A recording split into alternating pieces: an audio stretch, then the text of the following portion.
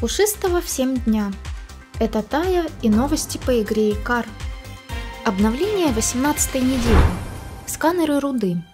Поскольку мы готовимся к работе над основными аспектами игры, которые нуждаются в изменении или расширении, например, ветка технологий четвертого уровня, развитие добычи полезных ископаемых, улучшение игры на аванпостах или расширение контента миссий, нам необходимо внести некоторые основополагающие изменения. В обновлении этой недели мы представляем сканеры руды, которые являются одним из шагов, необходимых на пути к нашим большим целям. Это был Дин Холл, исполнительный директор студии. Спустя несколько недель после внедрения глубинной добычи полезных ископаемых, как альтернативного способа добычи руд, разработчики решили добавить еще больше месторождений руды и инструменты для их поиска.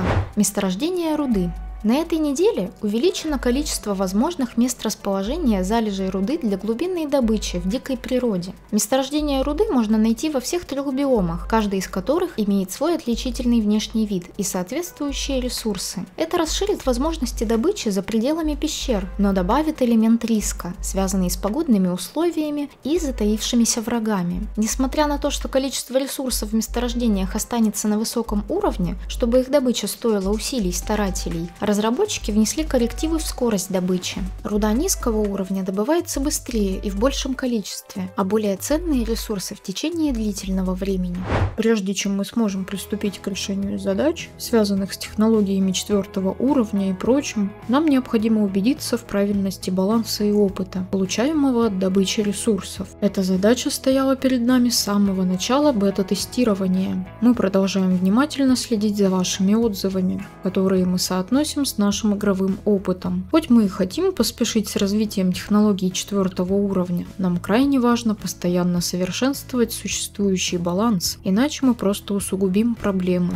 Технологии сканирования.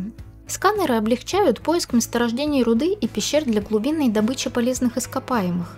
Эти новые портативные устройства, которые можно разблокировать за чертежи, обеспечивают более эффективный способ исследования карты в поисках ресурсов.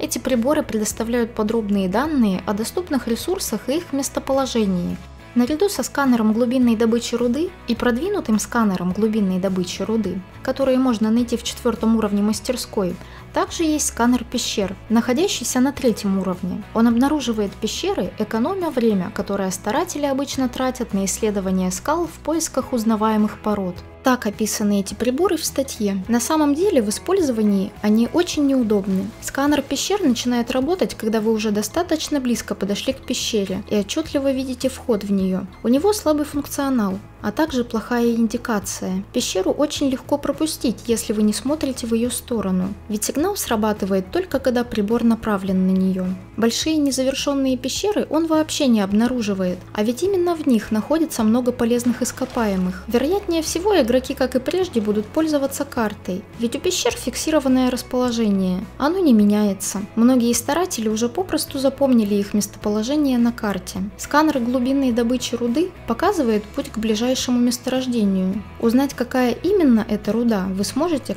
только когда подойдете к ней, а продвинутый сканер помогает найти месторождение конкретного полезного ископаемого. Когда он настроен на определенную руду, вы можете пропустить другую, просто потому что он ее не обнаружит. Именно поэтому эти сканеры не будут использоваться игроками в текущий момент.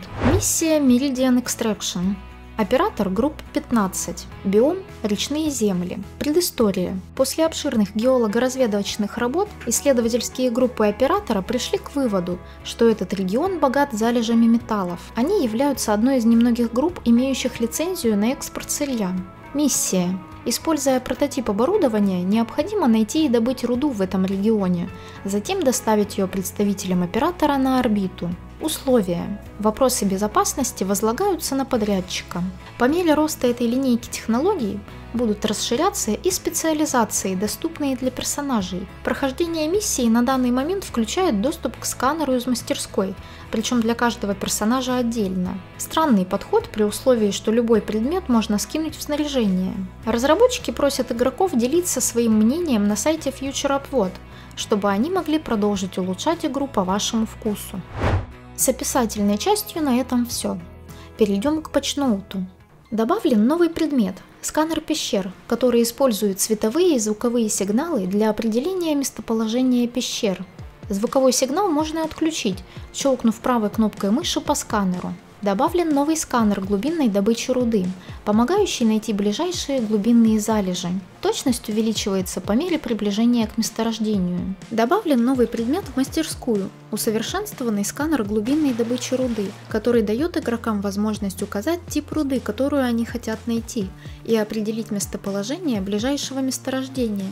А еще сканер отображает два новых вида руды алюминий и каменный уголь, но в игре их пока нет.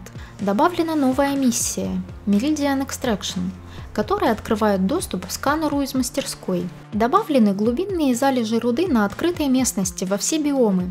Добавлены глубинные залежи руды в большее количество пещер – Исправлены вылеты, которые могли произойти, когда игрок спал во время генерации карты и при использовании DirectX 12. Исправлена ошибка, из-за которой миссия Waterpass разведка не могла быть выполнена из-за того, что в инвентаре игрока должно находиться два портативных маяка, а в наличии был только один доступный слот. Теперь портативные маяки можно размещать в стандартных слотах инвентаря. Наконец-то старатели смогут пройти это изыскание. Обновлен талант не с места. Теперь он имеет стопроцентный шанс критического урона для обездвиживания цели при метании ножа. Обновлены изображения для миссии Sandy Bridges Concealment Unearthed Agriculture. Исправлена ошибка, из-за которой прочность ремонтного молотка тратилась, когда он не использовался для ремонта. Исправлена ошибка, из-за которой кнопка трейлера перекрывала меню настроек на главном экране. Изменены названия всех ремонтных молотков на просто молоток, про деревянный молоток, видимо, забыли, ведь он по-прежнему называется ремонтным. Исправлена проблема, из-за которой молотки из мастерской некорректно отображали значение прочности здания при наведении.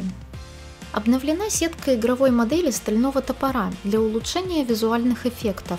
Исправлена ошибка, из-за которой челнок для ресурсов оставлял невидимые коллизии. Исправлено отключение фонарика при падении. Исправлена проблема, из-за которой звук не работал после загрузки последовательности заголовков. Исправлена ошибка, из-за которой электрический глубинный бур не выключался при истощении жилы. Обновлен пользовательский интерфейс заблокированных квестовых предметов в мастерской. Исправлены некоторые случаи, когда длинные названия предметов не помещались на всплывающем окне контейнера. Исправлена ошибка, из-за которой предметы с разной прочностью объединялись. Они должны стакаться только при максимальной прочности. Удалена прочность стрел и болтов, чтобы избежать проблем с объединением в стаке. Теперь стрелы как-то странно отображаются, выглядят как поломанные. Но при этом они работают как раньше, функционально ничего не изменилось. Возможно, это связано с этим изменением. Исправлена логика страховки жизни в офлайн режиме. Исправлено переключение времени миссии в офлайн режиме. Добавлена поддержка отбрасывания теней для некоторых эффектов удара, например, при добыче ресурсов киркой, если установлено легендарное качество теней. Суть этого обновления заключается в том, что разработчики снова исправляют ошибки. Хорошо, что они это делают, но плохо, что совершают. Также во время экспериментального патча обнаружилось, что время добычи экзотики работает неправильно. Раньше она добывалась по 3 единицы в минуту. Во время эксперименталки мы могли получить одну экзотику за то же время. Разработчики успели исправить эту ошибку еще во время тестового патча. Радует, что не пришлось ждать несколько недель.